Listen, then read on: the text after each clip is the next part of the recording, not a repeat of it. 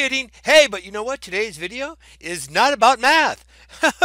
and I know I talked to you guys how much I love math, but today, no, we're going to be doing, yes, reading comprehension. Yeah, something like that. We're going to be looking at some different things. As you can see this week, we are going to be looking at this potential learning target, learning intention, objective. Yes, that's really just what it is. I like objective because it's a big word and you know, you have to learn it. An objective just means what we're going to learn in, well, in anything, an objective to winning a game of cards. You have to know what the rules are and then you figure out what you need to do. In this case, we're going to find out what we need to do to become a better reader.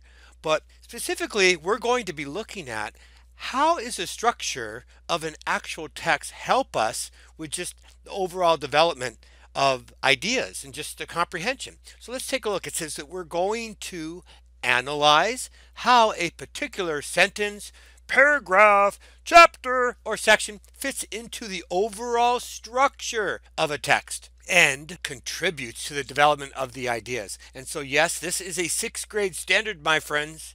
That's right. And we are going to make sure that we do everything we can to achieve that goal and so that you guys can learn this. Now, we are going to be doing an Achieve 3000 article. You can see it's entitled When the Sky Turned Red and Green.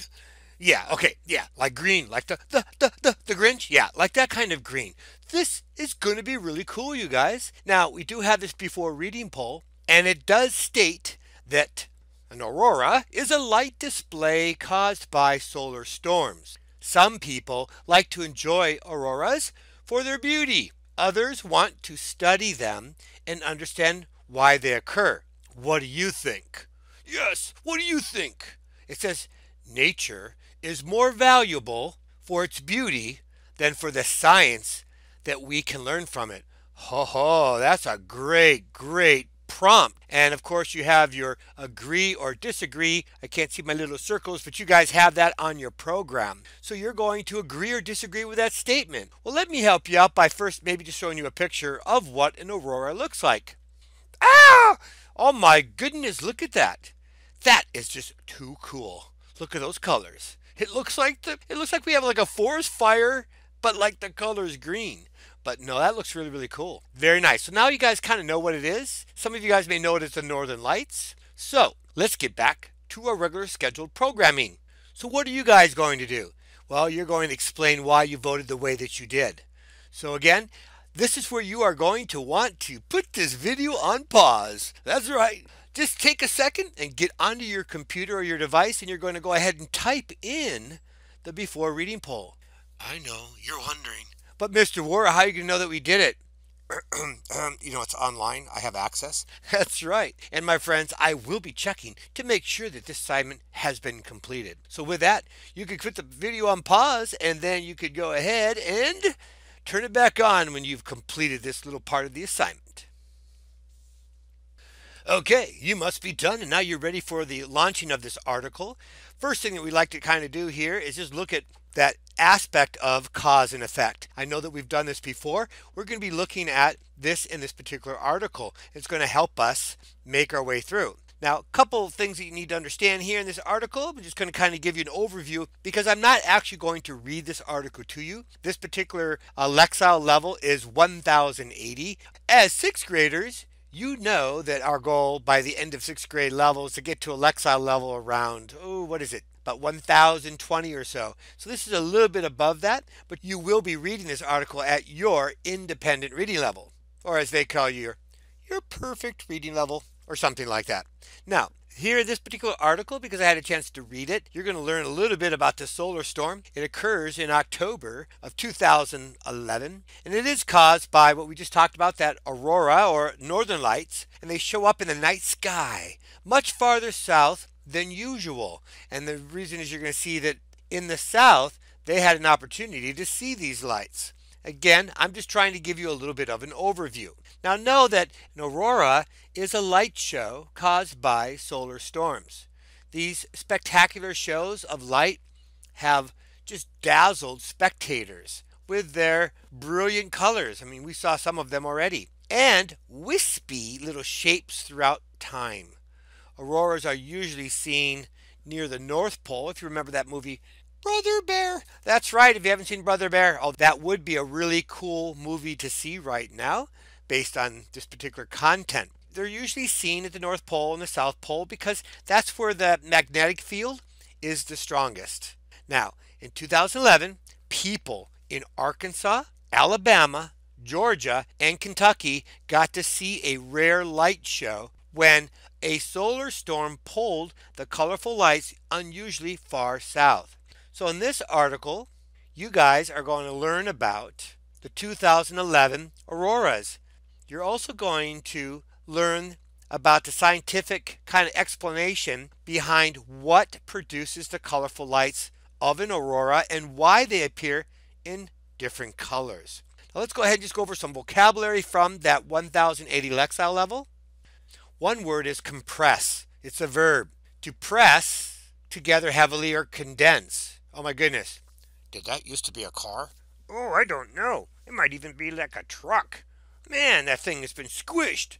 So, yeah, that's the word compress. So if you feel like things are really coming down on you, you can say, oh no, I'm okay. Well, maybe not. I'm exaggerating here. But at least you understand that that's what it means to press together, but heavily.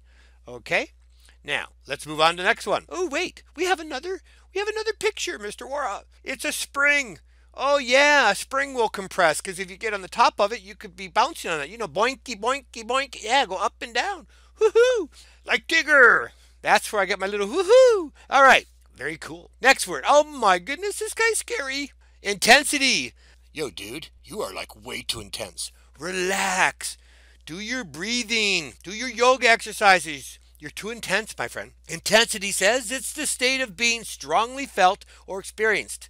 So I don't know if that's like, uh, I don't know if that's an ostrich or an emu. It looks like an emu. He looks like he needs to just take a day off, you know? Maybe, hey, I know. He could have like a stay at home order. Relax, don't go out. You need to take a break. Oh, and this guy too. Oh my goodness. Okay. I see you're angry. You are clearly intense. Another picture. Oh, another hawk. So you get the idea. Boy, this guy's really. Look at that focus, though. You got to give him credit. Yay. Okay, now we have another word mottle. Now it's a noun, and it says that it's a varied pattern of color. Okay, so now we have another picture of some, looks like could be some northern lights there. Look at the variation there in the pattern of the color. We see some reds and greens and yellows. Perfect example of mottle. Use it as an adjective too, but here it's just describing it. Oh, here's another example picture of mottle. As you can see, we have yeah, almost here it looks like a little bit of discoloration there. But again, that varied pattern of the green to the lighter uh, looks like a beige color. Okay, cool. All right, magnetic field. Oh, yeah.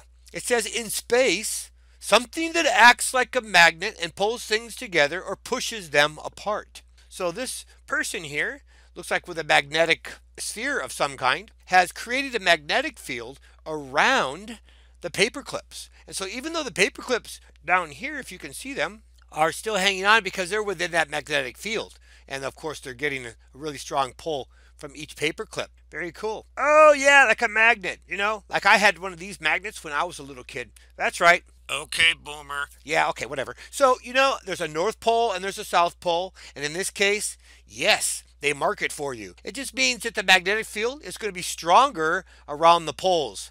Now, this is the old style one, to be honest with you. Like I said, when I was growing up, now they have some straight ones. You'll always get a stronger attraction at the poles. Like the North Pole and the South Pole have a stronger magnetic field. And in this case, that's true with a magnet.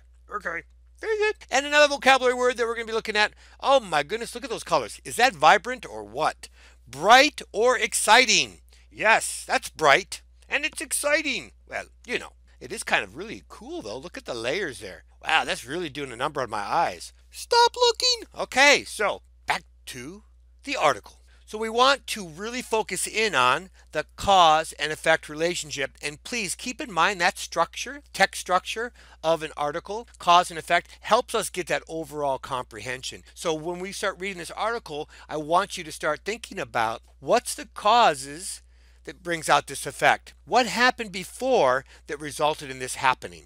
Okay, an example here is you can just see that right now, as I'm making this video, the coronavirus outbreak was the cause of humans being infected with a virus. And of course, the effect was many people got sick. Some people got really, really sick, and some people died. And that is a cause and effect relationship. And we're going to be looking at that in this article. Okay, so you guys are going to read this at your independent level, and you want to make sure that you are taking notes online. Remember, you're going to be doing this on your computer because there's no way that I'm going to be able to get the paper. You're going to do this on the computer, and then you're going to take your notes there so that I can review them.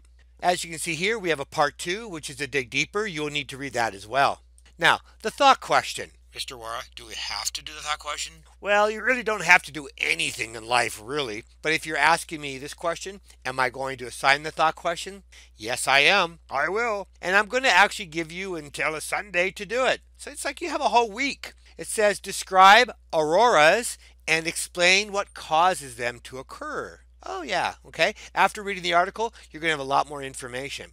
It says what causes the different colors of light in auroras, and it says use facts and details from the lesson to support your answer. And this is type your answer in the text box below. And again, you'll be doing that online, which I know you guys all know how to do. Okay, are we done here? Yeah, I think this is it. This is the end of the line, my friends. So you guys are going to read this article on your own, taking notes. All assignments, as always, Posted in Edmodo. that's right. Now, my friends, Live long.